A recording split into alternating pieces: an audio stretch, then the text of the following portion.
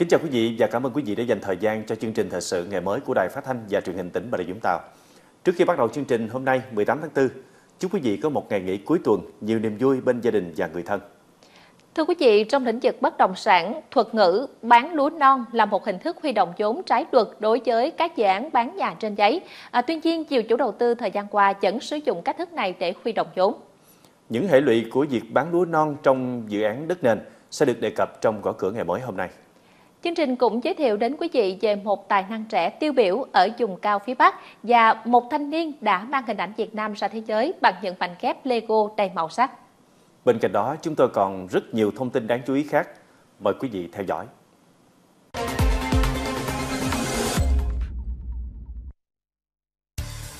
Nâng cao hơn nữa chất lượng tổng kết thực tiễn gắn với nghiên cứu lý luận.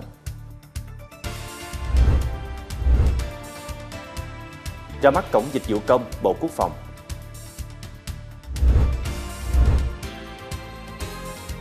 Ba thị chúng tàu tích cực tìm kiếm hài cốt liệt sĩ hy sinh trong chiến tranh.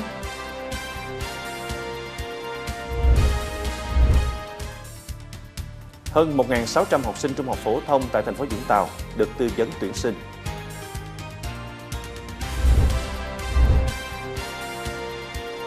Côn Đảo chú trọng bảo vệ chủ quyền biển đảo.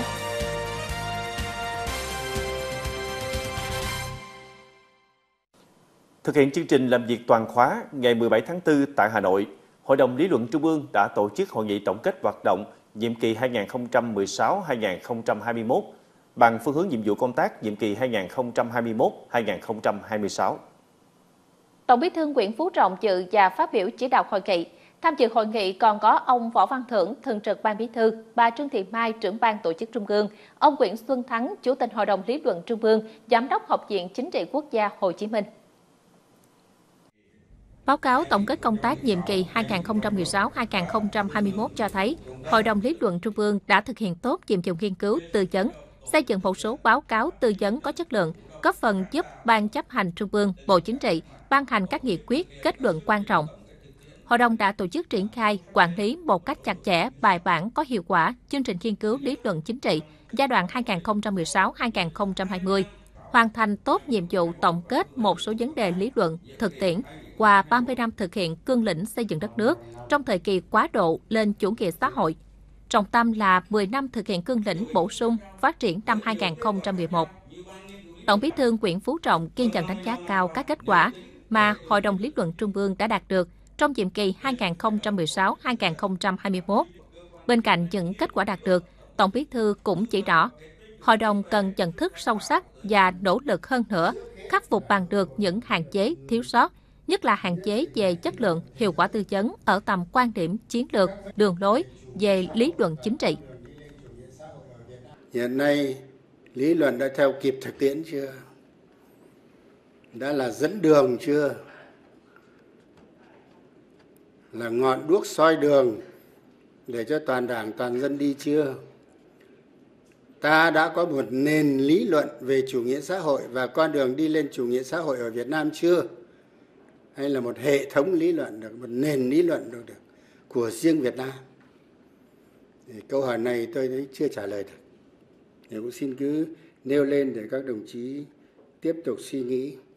Phải tạo được những bước đột phá về lý luận phát triển khai thông những điểm nghẽn về tư duy nhận thức quan điểm phục vụ cho việc hoàn thiện thể chế xây dựng đường lối chủ trương định hướng chính sách phát triển khơi dậy phát vọng và phát huy ý chí quyết tâm vươn lên của cả dân tộc. Để hoàn thành tốt những nhiệm vụ đặt ra, Tổng Bí thư yêu cầu hội đồng phải tập trung nâng cao hơn nữa chất lượng tổng kết thực tiễn gắn với nghiên cứu lý luận, trên cơ sở nắm vững và vận dụng sáng tạo phương pháp luận duy vật biện chứng của chủ nghĩa Mark Lenin và tư tưởng Hồ Chí Minh, nâng cao chất lượng hiệu quả tham vấn về lý luận chính trị, giúp Ban chấp hành Trung ương, Bộ Chính trị, Ban Bí thư, lãnh đạo chỉ đạo sự nghiệp xây dựng và bảo vệ Tổ quốc. Làm thế nào để không trùng lập mà cái tầm của nó phải khác. Tôi hiểu phải chăng tại sao đây lại gọi là hội đồng mà không gọi là ban, không gọi là viện. Chắc không phải ngẫu nhiên. hội đồng là mang tính chất anh là một cái cơ quan tập hợp những nhân tài giỏi nhất những chuyên gia giỏi nhất có trình độ ờ, để tham mưu tư vấn hội đồng khoa học nó khác một ban nó khác trường đảng nó khác các trường người ta cũng nghiên cứu lý luận làm gì chả có lý luận. Mà đây là lý luận chính trị. Tôi nhắc đi nhắc lại cho nên chưa phải là lý luận chung chung. Nhưng là cũng không phải đi sâu vào từng ngành. Tổng Bí thư yêu cầu Hội đồng lý luận Trung ương phải thu hút tập hợp được đông đảo đội ngũ cộng tác viên, những chuyên gia, những nhà khoa học giỏi, có tâm, có tầm trên tất cả các lĩnh vực của đất nước, mở rộng các hình thức thảo luận, tranh luận, đối thoại lý luận trên tinh thần khoa học, dân chủ, cầu thị, phục vụ một cách thiết thực, hiệu quả cuộc đấu tranh tư tưởng lý luận với các thế lực thù địch, phản động. Bộ Quốc phòng đã chính thức khai trương cổng dịch vụ công tại địa chỉ dịch vụ công.mod.gov.vn. Cổng dịch vụ công này sẽ cung cấp dịch vụ công trực tuyến đối với 29 thủ tục hành chính trên 6 lĩnh vực, gồm báo chí, quản lý vật liệu nổ quốc phòng, mật mã dân sự, chứng thực điện tử, chính sách quân đội và công nghệ thông tin. Dịch vụ công.mod.gov.vn là địa chỉ tin cậy để người dân, doanh nghiệp giao dịch với các cơ quan đơn vị trong Bộ Quốc phòng trên môi trường điện tử, đồng thời cũng là một kênh theo dõi, giám sát nhằm nâng cao chất lượng giải quyết các thủ tục hành chính và tiếp nhận xử lý phản ánh kiến nghị của các cơ quan đơn vị trong Bộ Quốc phòng. Việc đưa vào sử dụng cổng dịch vụ công thể hiện quyết tâm và cam kết mạnh mẽ của Bộ Quốc phòng trong việc đổi mới và nâng cao hiệu lực, hiệu quả hoạt động của các cơ quan đơn vị trong giải quyết các thủ tục hành chính, đồng thời tạo bước phát triển mới trong tiến trình cải cách hành chính, xây dựng chính phủ điện tử hướng tới chính phủ số, chuyển đổi số trong Bộ Quốc phòng. Nối tiếp chương trình là những thông tin văn hóa xã hội. Những năm qua, lực lượng vũ trang tỉnh phối hợp chặt chẽ với những đơn vị liên quan, chính quyền và nhân dân tại các địa phương, tăng cường rà soát, tìm kiếm thông tin ở các điểm chôn cất liệt sĩ trong kháng chiến. Từng nguồn thông tin của các cựu chiến binh, cựu thanh niên xung phong, thân chân liệt sĩ và người dân cung cấp, Bộ Chỉ huy quân sự tỉnh đã đối chiếu xác minh. Đến nay đã có 2.417 hài cốt liệt sĩ được tìm kiếm quy tập. Trong đó có đưa vào nghĩa trang liệt sĩ trên địa bàn tỉnh là 1.806 mộ. Số mộ gia đình quản lý là 315 mộ. Số mộ đã bàn giao cho địa phương khác là 278 mộ. Mộ liệt sĩ chôn vị trí khác là 18 mộ. Số lượng mộ liệt sĩ chưa tìm kiếm quy tập được là 373 mộ. Bộ Chỉ huy quân sự tỉnh cho biết, đến nay toàn tỉnh đã kết luận được tổng số 5.800 liệt sĩ hy sinh trên địa bàn tỉnh, trong đó 3.876 liệt sĩ của tỉnh, 1.677 liệt sĩ của đơn vị và địa phương khác, 247 liệt sĩ không xác định được đơn vị địa phương. Mặc dù công tác tìm kiếm quy tập hài cốt liệt sĩ đã đạt được kết quả tích cực, song vẫn đang gặp không ít khó khăn do địa hình có nhiều thay đổi, làm cho các dấu tích dần mất đi. Mặt khác, một số cán bộ chiến sĩ từng tham gia kháng chiến biết hoặc là trực tiếp mai táng các liệt sĩ nay đã mất, hoặc tuổi cao sức yếu, không còn nhớ rõ vị trí chôn cất, khiến việc tổ chức tìm kiếm gặp nhiều trở ngại. Vì vậy, Bộ Chỉ huy quân sự tỉnh sẽ tiếp tục phối hợp với các lực lượng chức năng, đoàn thể, tổ chức chính trị xã hội, tích cực tuyên truyền, dân động hội viên, các tầng lớp nhân dân, cung cấp thông tin về liệt sĩ, mộ liệt sĩ, qua đó sàng lọc các thông tin chính xác, không trùng lập, chuyển tới cơ quan chức năng để xác minh, tìm kiếm, quy tập. Thư viện tỉnh phối hợp với Sở Thông tin và Truyền thông, Sở Văn hóa và Thể thao, Ủy ban nhân dân thành phố Bà Rịa, Hội văn học nghệ thuật tỉnh đã tổ chức lễ hưởng ứng Ngày sách và Văn hóa đọc Việt Nam năm 2021 thông qua hội sách trưng bày tại công viên Lê Thành Duy, thành phố Bà Rịa. Các hoạt động hưởng ứng Ngày sách và Văn hóa đọc Việt Nam tỉnh Bà Rịa Vũng Tàu năm nay diễn ra trong hai ngày 17 và 18 tháng 4 tại công viên Lê Thành Duy, thành phố Bà Rịa, gồm trưng bày và giới thiệu hơn 600 tư liệu về Đảng Cộng sản Việt Nam, biển đảo, truyền tranh và nhiều ấn phẩm khác. Cũng trong khuôn khổ sự kiện, Thư viện tỉnh trao giải hai cuộc thi quyển sách tôi yêu và vẽ tranh theo sách chủ đề Biển đảo quê hương em, phát động từ tháng 1 năm 2021. Thông qua các hoạt động này, nhằm khẳng định tầm quan trọng của sách trong đời sống xã hội, đồng thời khuyến khích phong trào đọc sách để mở rộng kiến thức, kỹ năng và rèn luyện nhân cách con người. Hôm qua, tại trường Trung học phổ thông Vũng Tàu, báo Người Lao động phối hợp với Sở Giáo dục Đào tạo, Sở Nông nghiệp và Phát triển Nông thôn, Đài Phát thanh và Truyền hình tỉnh Bà Rịa Vũng Tàu tổ chức chương trình Đưa trường học đến thí sinh năm 2021. Chương trình đã thu hút hơn 1.600 học sinh các trường Trung học phổ thông Vũng Tàu, Trung học phổ thông Đinh Tiên Hoàng, Trung học phổ thông Trần Nguyên Hãn, Trung học phổ thông Lê Hồng Phong và đại diện của 9 trường đại học cao đẳng tại thành phố Hồ Chí Minh tham gia. Chương trình cũng đồng thời được Đài Phát thanh và Truyền hình tỉnh truyền hình trực tiếp trên sóng BRT.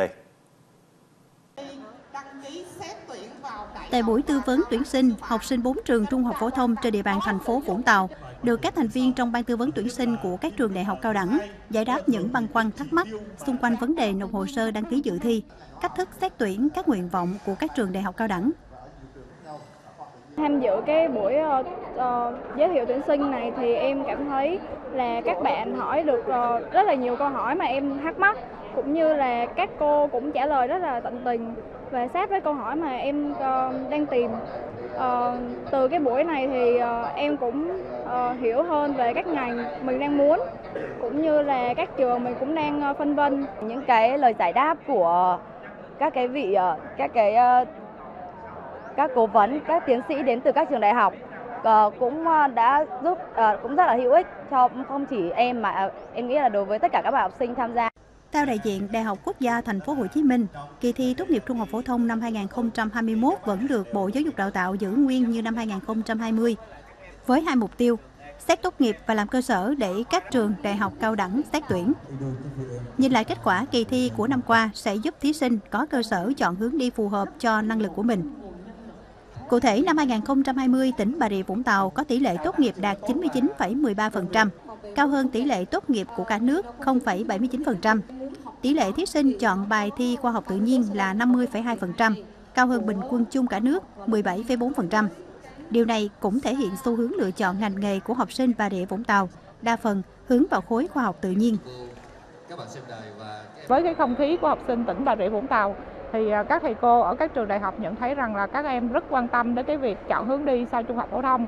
Cái thứ hai là cái thế mạnh mà các em nắm được đó là thế mạnh học sinh tỉnh chúng ta là cái giỏi ngoại ngữ và các em giỏi về toán nữa cho nên là các em cũng muốn dựa trên cái năng lực này chọn cái hướng đi mà đáp ứng nguồn nhân lực cho tỉnh nhà.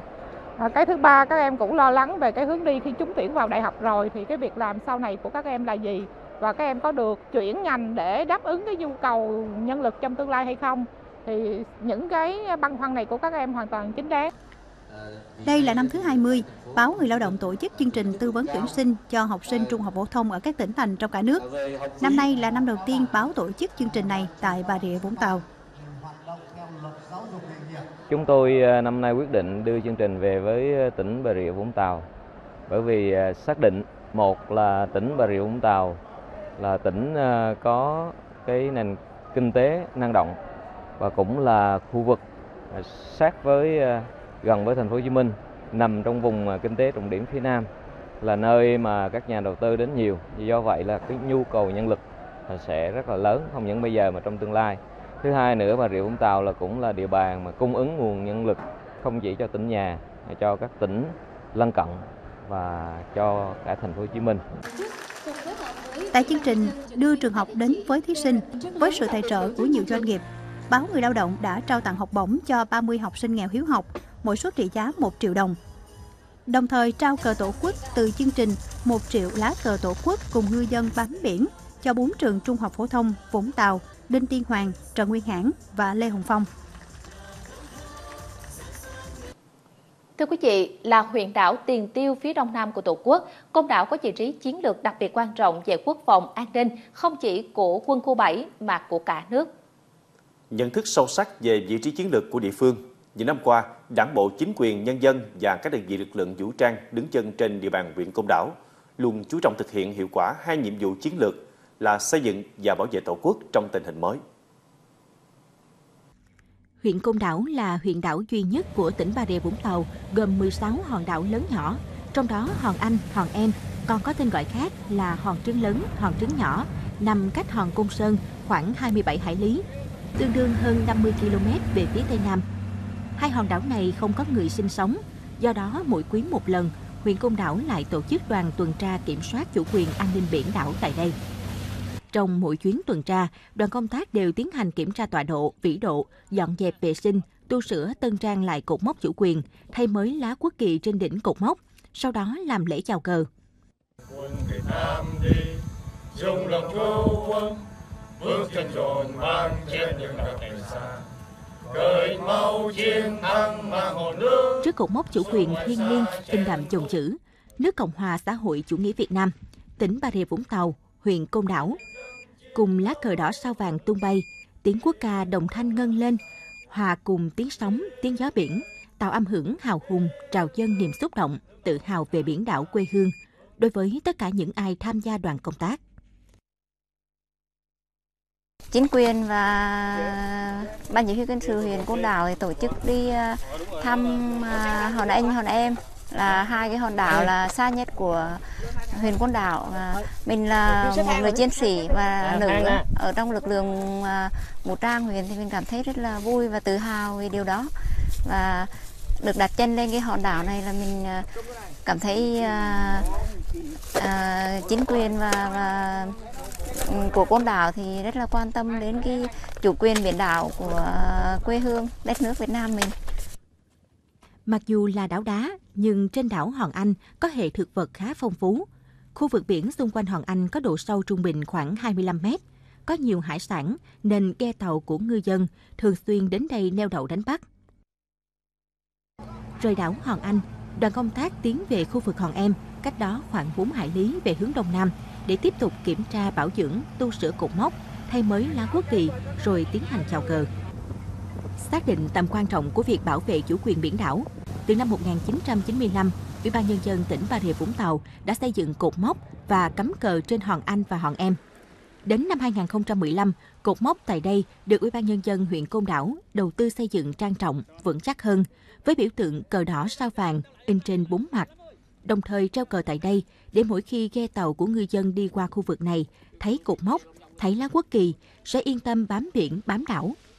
Ngoài ra, công tác tuần tra kiểm soát tại hai đảo Hòn Anh Hòn Em cũng luôn được huyện Côn Đảo xác định là nhiệm vụ quan trọng hàng đầu. Thực hiện cái chức năng nhiệm vụ uh, tuần tra, uh, canh gác biển thì uh, đảng bộ chính quyền của người dân, uh, huyện Côn Đảo uh, tổ chức ờ, bốn uh, đoàn trong năm à, mỗi quý đi một đợt à, vào thời tiết à, điều kiện à, biển à, tốt nhất à, để à, qua đó à, thăm lại những cái hòn à, và do địa phương quản lý. Bên cạnh đó cũng nâng cao được cái tinh thần à, nhận thức và trách nhiệm với biển đảo quê hương à, cho đoàn viên hội viên và nhân dân trên địa bàn huyện Côn Đảo. Từ đó là an tâm à, phát triển kinh tế à, xã hội của địa phương góp phần xây dựng à, Côn Đảo tỉnh Bà Rịa Vũng Tàu ngày một giàu đẹp mỗi chuyến ra Hòn Anh Hòn Em không chỉ để thực hiện nhiệm vụ tuần tra khảo sát định kỳ cột mốc chủ quyền, mà còn là dịp để mọi người vun đắp thêm tình yêu quê hương đất nước, đồng thời nhắc nhở thế hệ hôm nay tiếp bước cha anh bảo vệ toàn vẹn chủ quyền biển.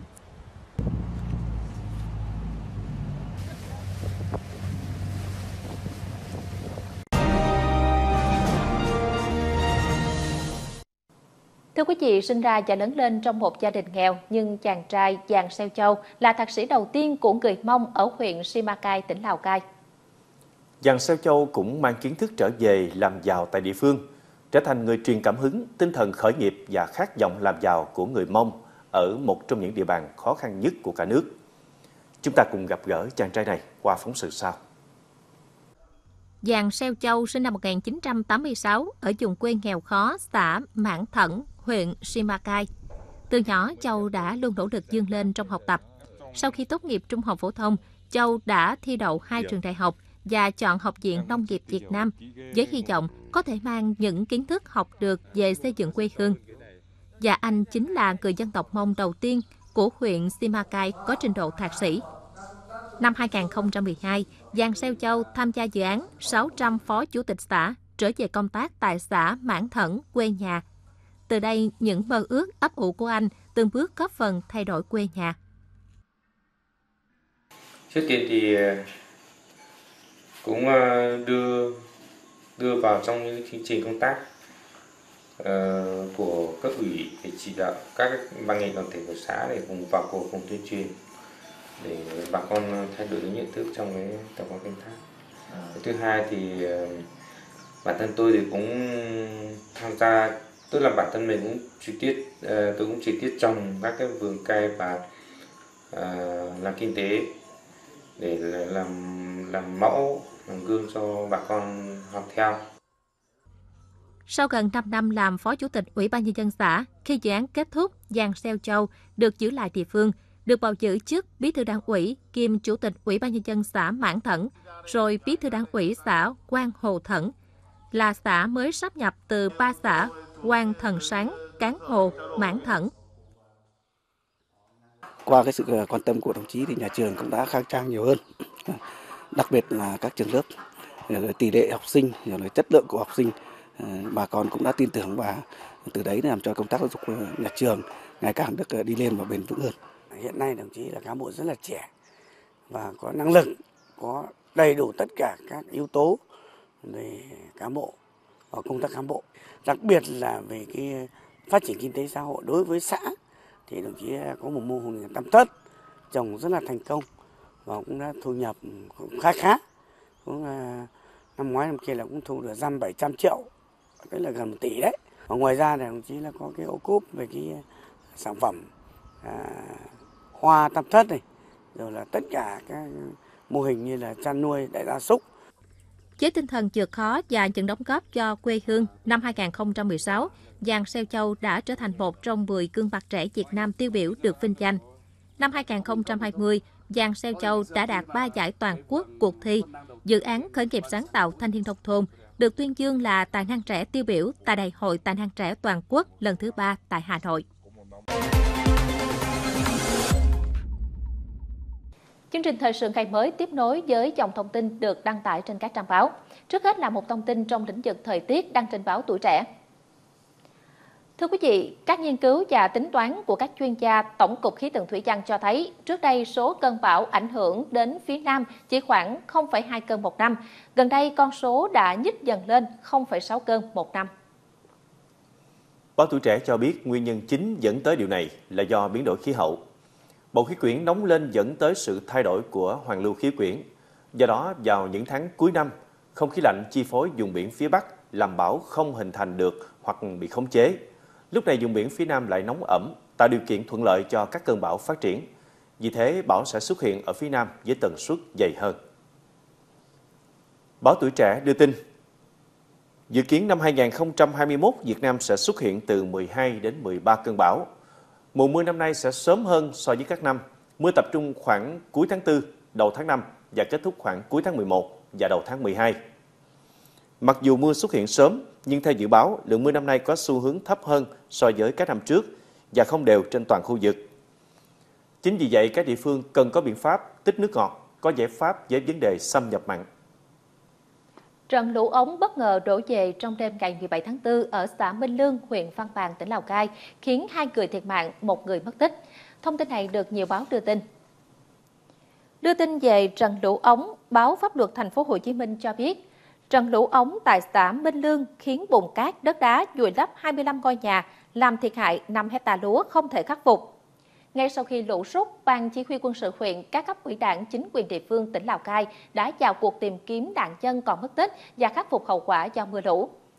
Trung tâm Dự báo Khí tượng Thủy văn Quốc gia dự báo do ảnh hưởng của không khí lạnh kết hợp với hội tụ gió lên đến 5.000 m, nên dự kiến vài ngày tới ở Bắc Bộ và Bắc Trung Bộ tiếp tục có mưa vừa mưa to và dông, có nơi mưa rất to nên nguy cơ cao xảy ra lũ quét, sạt lở đất ở các tỉnh Hà Giang, Tuyên Quang, Cao Bằng, Lào Cai, Yên Bái, Phú Thọ, Lai Châu, Điện Biên, Sơn La. Hôm qua, Botulinum antitoxin heptavalent, gọi tắt là BAT, loại thuốc giải độc giá đắt đỏ 6.000 đô la Mỹ một lọ đã về đến thành phố Hồ Chí Minh để điều trị các bệnh nhân ngộ độc nghi do ăn pate chay. Theo báo Thanh niên, đợt này Bộ Y tế cấp phép cho bệnh viện chợ rẫy được mua 30 lọ BAT. Báo Thanh niên đưa tin trong số 6 lọ thuốc BAT vừa về đến bệnh viện chợ rẫy, có một lọ được công ty nhập khẩu thuốc tặng cho bệnh viện để cứu người. Việc sử dụng 5 lọ còn lại như thế nào sẽ thực hiện theo quy định của Bộ Y tế. Hiện tại bệnh viện Chợ Rẫy đang điều trị 5 bệnh nhân bị ngộ độc do ăn pate chay. Trong số này, có 3 người đang điều trị được tiêm thuốc giải BAT do bệnh viện Bạch Mai đưa vào.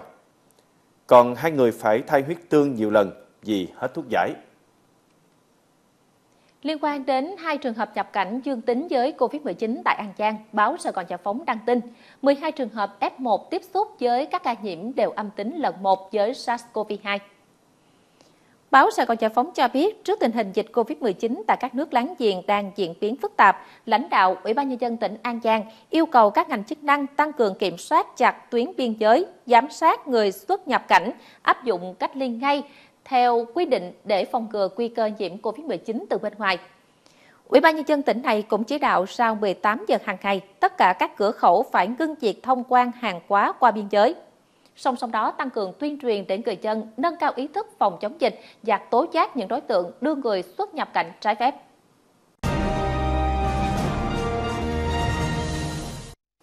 Thưa quý vị, trong lĩnh vực bất động sản, thuật ngữ bán lúa non là một hình thức huy động vốn trái luật đối với các dự án bán nhà trên giấy. Tuy nhiên, nhiều chủ đầu tư thời gian qua vẫn sử dụng cách thức này để huy động vốn. Cụ thể, có nhiều chủ đầu tư đã lách luật để bán sản phẩm khi chưa được cấp giấy đủ điều kiện huy động vốn bán nhà hình thành trong tương lai thông qua các hợp đồng góp vốn, hợp đồng đặt cọc. Nhiều lời cảnh báo các hậu quả của tình trạng này được đưa ra. À, tuy nhiên, cũng có những quan điểm trái chiều, dạng người mua nhà có nên mua hay là không.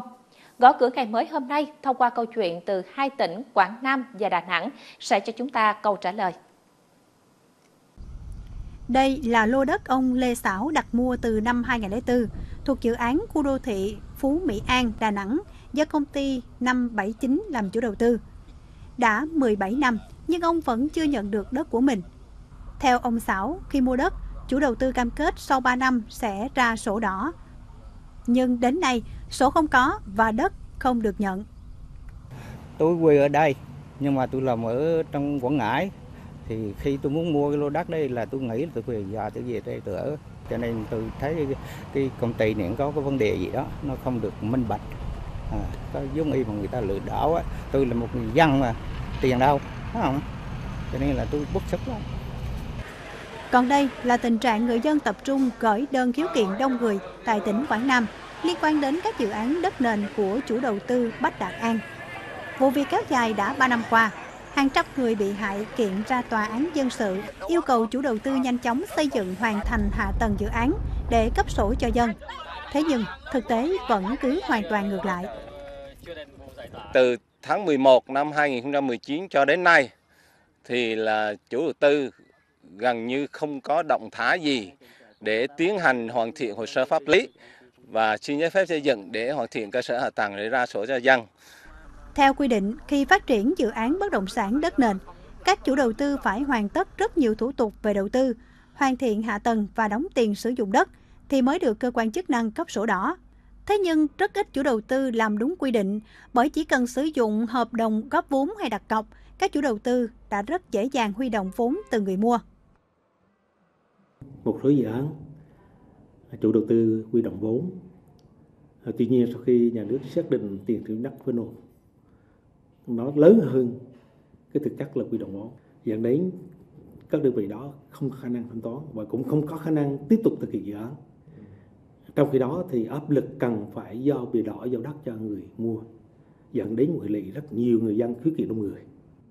Tháng 2 năm 2020, Công an Điện Bàn bắt khẩn cấp Huỳnh Tấn Vĩ, đối tượng vẽ ra dự án ma mang tên Coco Green với 40 lô đất, huy động được hơn 16 tỷ đồng. Tháng 1 năm 2021, Tòa án Đà Nẵng tuyên phạt Tổng Giám đốc Công ty Quảng Đà tù chung thân vì lừa đảo bán 121 lô đất với tổng số tiền hơn 100 tỷ đồng. Và hàng loạt vụ lừa đảo bất động sản xảy ra tại Đà Nẵng và Quảng Nam thời gian qua đã và đang bị pháp luật trừng trị. Tuy nhiên thực tế đó chỉ mới là bề nổi, bởi với hàng trăm dự án bất động sản đất nền đang phát triển theo kiểu bán lúa non thì rủi ro là không thể tránh khỏi. Thưa quý vị, trên thực tế, tại Bà Rịa Vũng Tàu cũng đã có tình trạng người dân mua phải dự án bất động sản bán lúa non, mà điển hình nhất là dự án khu dân cư số 1 Tây Nam, thị trấn Long Điền, huyện Long Điền, còn gọi là dự án nhà ở ô cấp, do công ty cổ phần phát triển nhà ô cấp làm chủ đầu tư, phải đối mặt với nguy cơ mất trắng. Dự án này phân chia 1.200 nền đất với 950 khách hàng góp vốn từ 50% đến 90%. Một số khách hàng còn à, góp vốn đủ 100%, nhưng công ty không giao đất cho khách hàng. Cơ quan điều tra Công an tỉnh Bà Rịa Vũng Tàu đã xác định hàng trăm sổ đỏ của dự án trên đáng lẽ ra phải trao cho khách hàng, à, nhưng đa số được chủ đầu tư thế chấp cho ngân hàng và mất khả năng thanh toán, bị phát mãi tài sản. Tháng 5 năm 2020, Cơ quan Cảnh sát điều tra Công an tỉnh đã khởi tố bị can đối với ông Hoàng Huy Hiển, Chủ tịch Hội đồng Quản trị Công ty Phát triển Nhà ô cấp về hành vi lạm dụng tín nhiệm chiếm đoạt tài sản. Theo các luật sư, hợp đồng thỏa thuận cho vay vốn không được xem là hợp đồng mua bán nhà ở hình thành trong tương lai. Dạng hợp đồng góp vốn này cũng tiềm ẩn nhiều rủi ro, có thể bị tòa án tuyên bố vô hiệu do đây là hợp đồng do các bên tự lập ra. Do đó, người dân phải cân nhắc thật kỹ khi quyết định bỏ một số tiền lớn đầu tư mua đất tại các dự án chưa có đủ thủ tục pháp lý để không rơi vào cảnh mất trắng.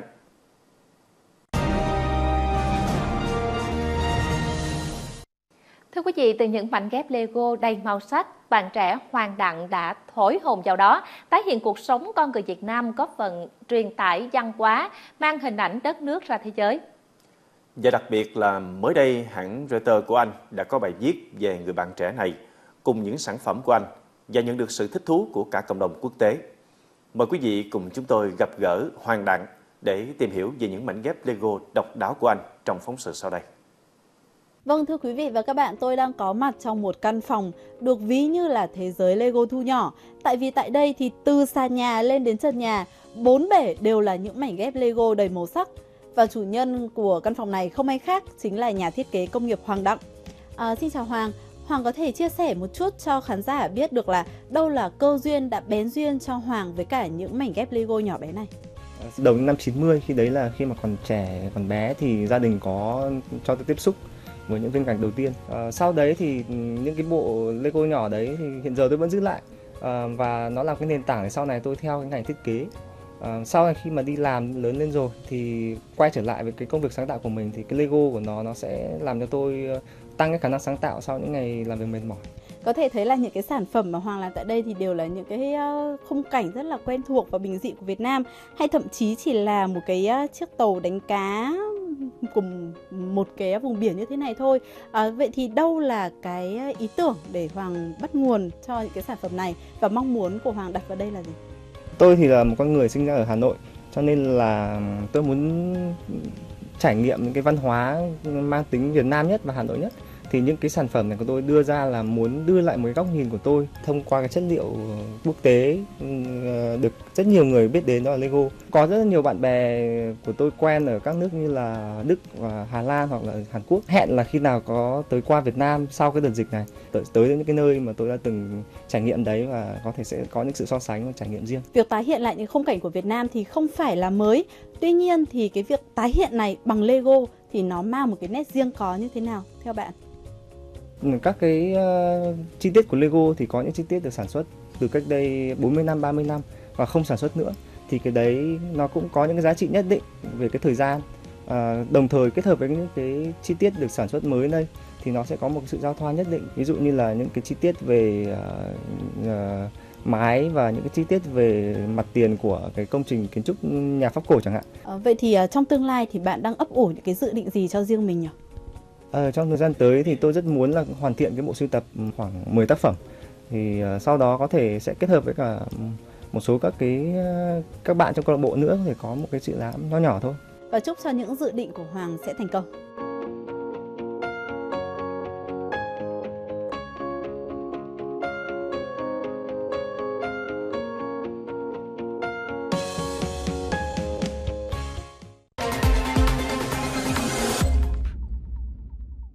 Thông tin giá cả nông sản sẽ tiếp tục chương trình ngày mới sáng nay. Mời quý vị cùng cập nhật. Giá cà phê tại thị trường trong nước tiếp tục giảm thêm 200 đồng một ký. Nguyên nhân là do tình hình Covid-19 bùng phát trở lại ở châu Âu ảnh hưởng đến tiêu thụ. Hiện giá cà phê tại Chư Prong, tỉnh Gia Lai đang ở mức 32.500 đồng một ký. Ở Pleiku và La Crai cùng mức 32.600 đồng một ký. Còn giá cà phê tại tỉnh Con Tum đang thu mua với mức 32.500 đồng một ký. Như vậy, giá cà phê trong nước đang giao dịch quanh ngưỡng 31.800 tới 32.900 đồng một ký. Giá heo hơi tại miền Bắc tăng nhẹ trải rác ở vài tỉnh thành, bán dao động quanh mức 73.000 tới 75.000 đồng một ký. Tại miền Trung và Tây Nguyên, giá đang thu mua quanh mốc 71.000 tới 75.000 đồng một ký. Trong khi đó, tại các tỉnh thuộc miền Nam, giá heo hơi đồng loạt giảm nhẹ 1.000 đồng một ký, mức giá dao động quanh ngưỡng 73.000 tới 76.000 đồng một ký. Giá lúa gạo tại các tỉnh đồng bằng sông Cửu Long đi ngang sau một tuần biến động theo chiều hướng tăng trở lại.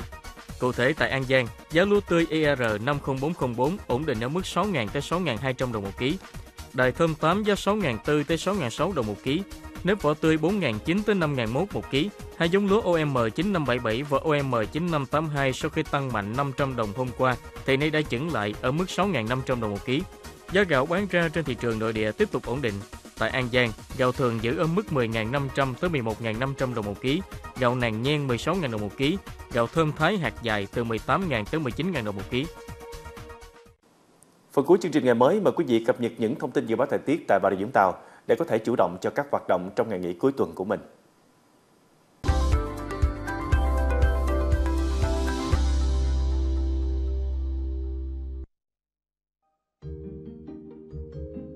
Dự báo thời tiết tỉnh Bà Rịa Vũng Tàu ngày 18 tháng 4.